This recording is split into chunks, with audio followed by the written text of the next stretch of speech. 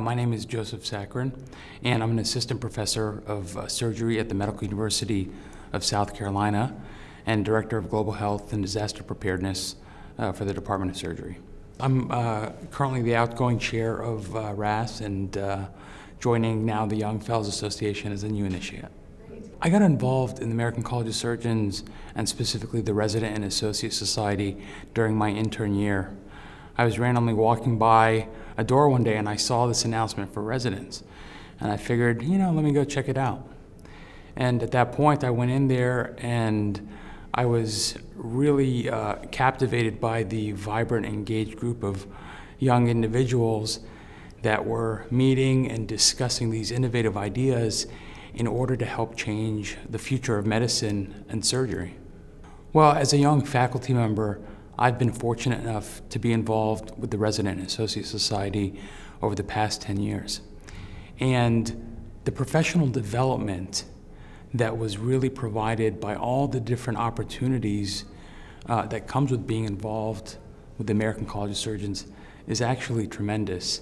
Anywhere from having leadership roles like being on one of the advisory councils to perhaps publishing an article in the bulletin or working in different subcommittees that will really allow you to develop your own skills while at the same time changing how we practice medicine.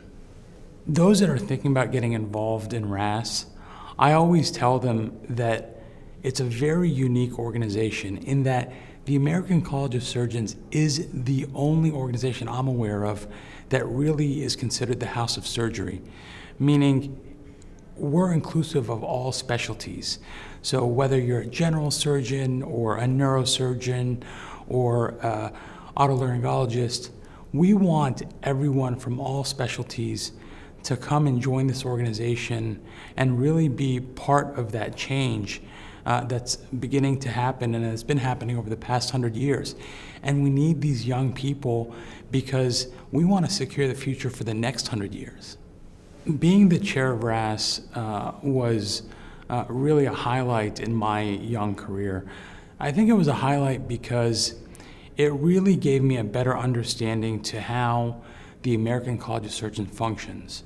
It provided different leadership opportunities within multiple levels of the organization, and it allowed me to really be able to bring some of the incredible things that the American College of Surgeons are doing back to our young people. And that's a very unique role, and I'm very fortunate to have it, and I, I learned a tremendous amount.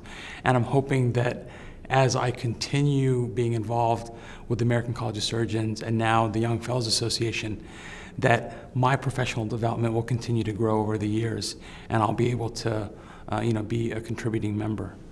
The reason I've decided to continue to be involved in the YFA of the American College of Surgeons is because I believe in the core mission, in the values, in what we're trying to do to provide high quality care to surgical patients, both here and around the world, and to really upholding that mission of safeguarding optimal and ethical practice environment.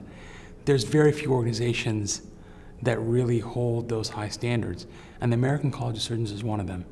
And I just want to be a part of that process. I think together, um, by bringing all of our different talents, that's the way to really make a difference for the future. I think it's important for young surgeons to be involved in the American College of Surgeons because we need to play an active role in what's happening in our society with respect to medicine. Standing by the sidelines is not going to help, you know, change what's coming in the future. And so by taking an active role within an organization like the American College of Surgeons, we can really have an impact whether it comes to advocacy or putting together different educational programs or working with our uh, DROPSI committee to really create quality initiatives for both our trainees and our practicing surgeons. There's so many different programs that are going on, and there's really something for everyone and something for every specialty. This is the only organization that uh, behaves in this manner and has really changed the practice of medicine. So that would be why I think is the most compelling reason to be involved in the American College of Surgeons.